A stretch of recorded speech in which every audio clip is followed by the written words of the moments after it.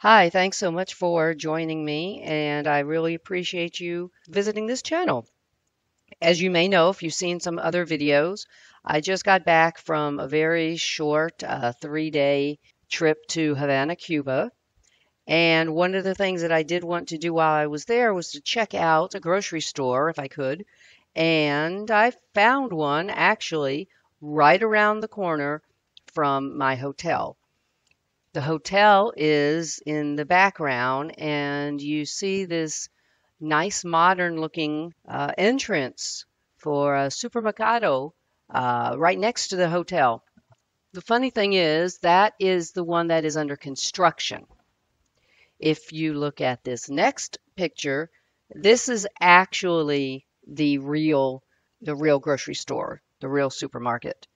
And it's just across the street. I decided to go in just to see what it was going to look like. And I wanted to see if some of the things that I had been told about uh, the food and all was true. And it does uh, does seem to be like it was.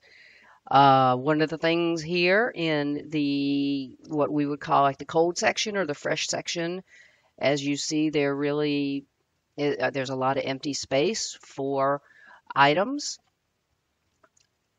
In this one here, you see, oh, there are a lot of items here. This is mostly uh, hair, you know, shampoo, lotion, uh, excuse me, uh, conditioners, things like that. This particular hair product was um, $3.56 for a, a bottle of it.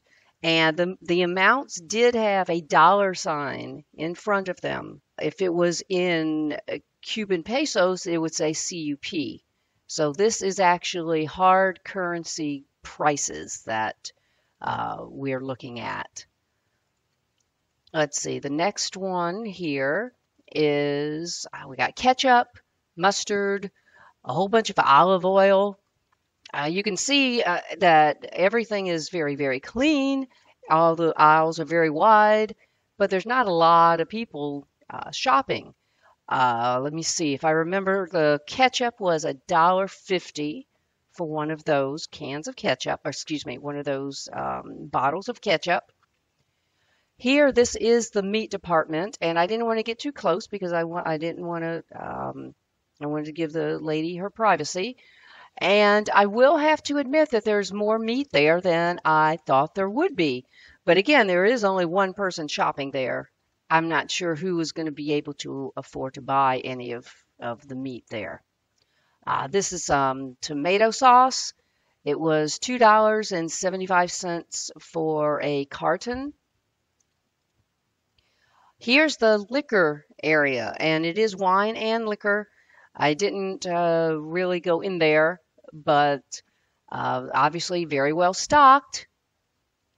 This is some type of an orange drink. Let's see, it was a dollar twenty-five. If I um, my notes are correct, it's a dollar twenty-five for uh, per bottle. This is a canned pineapple for $6.75 for the canned pineapple. And we have here some fruit cocktail, and it was $6.20 per can. Now, they're large cans, but still, that would be a little expensive, I think, even for us here in America. This is, and I, I wish I had the price of it, but I couldn't find any prices. Was uh, and the green is the most popular or one of the most popular beers. It's called Cristal. Unfortunately, I said I looked all over and I couldn't find a price, so I'm not sure how much it is uh, being sold for. Here we have milk and condensed milk. The milk in the larger containers says it's uh, full fat milk. It's a liter of milk for $3.35. The can of condensed milk was $2.45.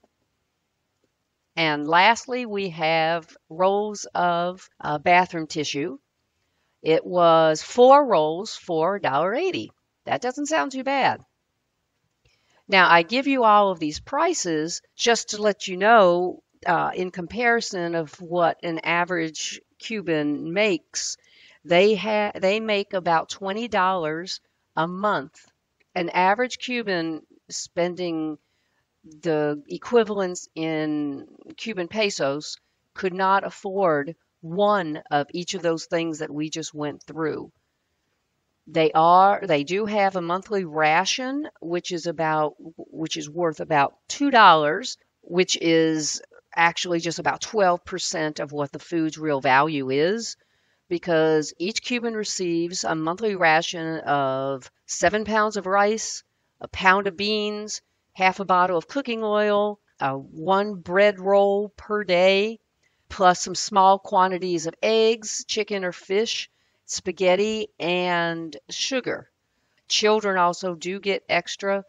Uh, they can get a, a liter of milk or some yogurt depending on their age.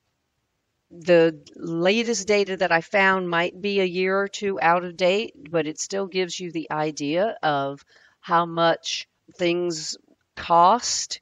We can go back into this supermarket and see that there's nobody buying anything. And that's why the shelves are all filled with everything because, again, you would need hard currency to be able to afford this. And the only people who really have hard currency are people who work in either entertainment or uh, travel, tourist, hospitality. So if you ever do go, they do definitely, you know, the people that you would uh, be interacting with for the most part would love dollar bills for tips. As you can see, it actually does make a large percentage of their income.